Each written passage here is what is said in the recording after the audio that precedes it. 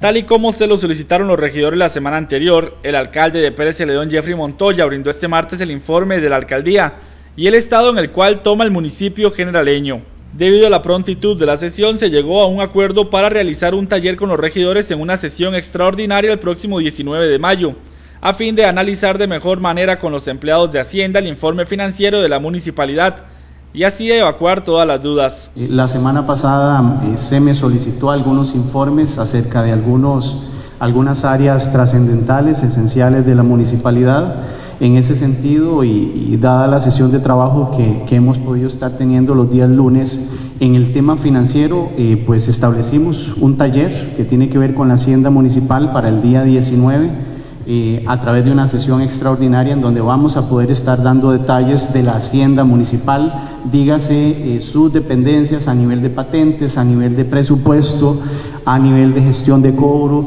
a nivel de lo que son los índices de endeudamiento que tiene la municipalidad, los índices de morosidad y algunos otros aspectos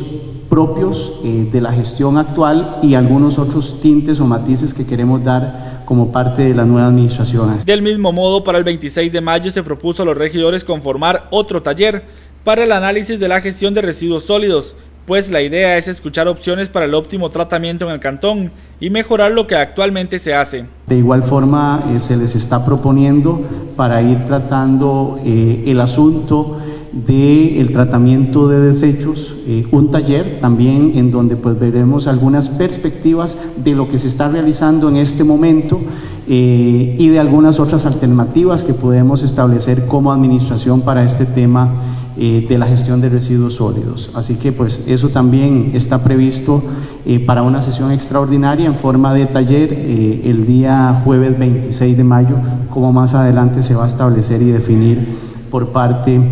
de la acá de la presidencia y ustedes a nivel de, de, regidores. Un detalle que llamó la atención es que la anterior Junta Vial no estableció una programación de las obras para este 2016 y peor aún es que del total de la programación establecida para el año anterior, solo se avanzó en un 50%, es decir, que la mitad de los caminos quedaron abandonados durante el año 2015. No existe programación 2016, no existe programación 2016. Eso fue eh, una, eh, una decisión de trabajo por parte de la Junta Vial anterior. Eh, apenas vamos por el 50% de la, programación, de la programación que corresponde a 2015. Entonces, bueno, es una decisión que,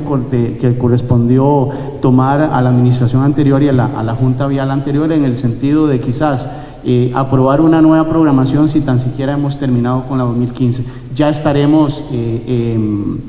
eh, pasando a la información en detalle del avance de cada uno de los caminos. Hay muchos de los síndicos que ya lo tienen, hay algunos otros a los cuales este, em, yo les estaré facilitando eh, el detalle de cada uno de esos, caminos que se están estableciendo 2015. En el tema de partidas y aportes a proyectos comunales, el alcalde se encontró partidas del 2009 que aún no se ejecutan. Eh, ahí nos hemos encontrado, compañeros, partidas del 2009 que todavía están sin ejecutar, entonces este, eh, vamos a hacer un esfuerzo importante para que esas partidas eh, sean ejecutadas lo antes posible. Les decía en la tarde a los compañeros síndicos de que en este momento no tenemos nombramiento titular en cuanto a lo que es la oficina ahí de proyectos comunales debido a una situacióncita ahí este, de maternidad de la compañera titular, pero estaremos solventando eso, pero tampoco existe el dinero para hacer la suplencia. Entonces, bueno, es parte de los movimientos presupuestarios que debemos estar realizando este producto de eh, esos reacomodos que tenemos que realizar ahí. Con mucho desorden y cosas por mejorar, Jeffrey Montoya inicia su era al mando de la municipalidad de Pérez Celedón.